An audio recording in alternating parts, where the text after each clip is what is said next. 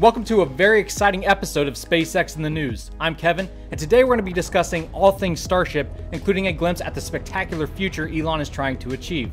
And we'll get very excited for SpaceX's upcoming launches. That's right, plural, which includes tomorrow's in flight abort test. Let's get it on.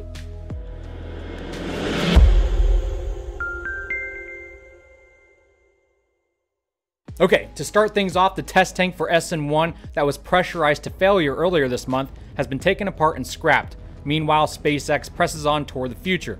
Elon tweeted a rare look inside the Boca Chica facilities, where his crew is building SN1's liquid oxygen header tank and nose cone. If you're not familiar with what a header tank is, it's located right here and is used to hold the propellant for landings. SpaceX began building new bulkheads for SN1 as well. The Boca Chica team is definitely keeping busy as they push toward the first Starship flight a couple months from now, especially as the team in Florida keeps sending them gifts.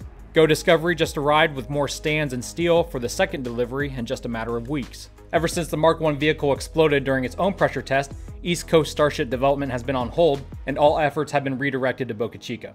Furthermore, yesterday and today, SpaceX hosted a hiring event for the South Texas site. A lot of cars were spotted parked at the Stargate building, so there must have been a decent turnout. It's not very common for SpaceX to put on something like this, so they must really need the extra hands. But if any of you are ever interested in working for SpaceX, just head on over to their website and you'll always find a ton of openings company wide. Or if you're a single lady over 20 and have no interest in getting a job, why not marry a billionaire?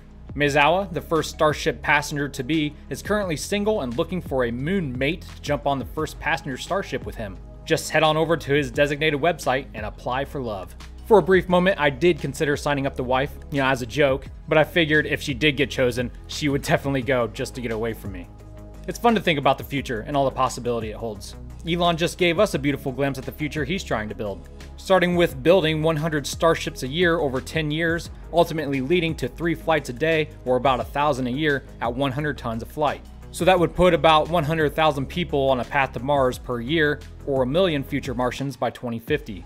Since the Hohmann transfer window to Mars only opens up about every 26 months, one of those months will be dedicated to sending a fleet of 1,000 ships from Earth orbit to Mars. These ships will have been launched into Earth orbit over the course of that two year gap, and that would be an amazing sight to see. Flights will be open to anyone who wants to go, with available loans that can be paid off while working on Mars. Obviously, tickets sold would help fund the colonization of Mars, but until then, how will Elon and SpaceX afford this big project? The answer is simple, really. It's Elon Musk, brah, and he's doing a great job of it so far.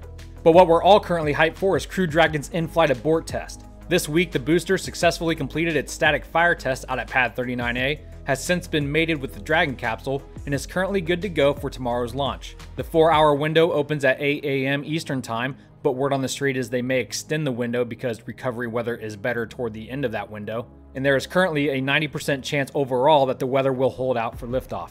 The purpose of the test is to demonstrate Dragon's ability to separate from a Falcon 9 rocket in case of an emergency during ascent. NASA Administrator Bridenstine tweeted his excitement with a photo of first to be Dragon astronauts Bob and Doug rehearsing the countdown, although it should be noted they won't be on board for tomorrow's launch. Of course, SpaceX did release another animation showing how things are going to go down, or up, once the rocket reaches max Q, when the speed of the vehicle and the density of the atmosphere produce the most extreme forces on the rocket, Crew Dragon will then ignite its Super Draco thrusters and pull away from the Falcon. At which time, the extreme forces will hit the rocket like a brick wall and more likely than not, shred it into many little Falcon pieces.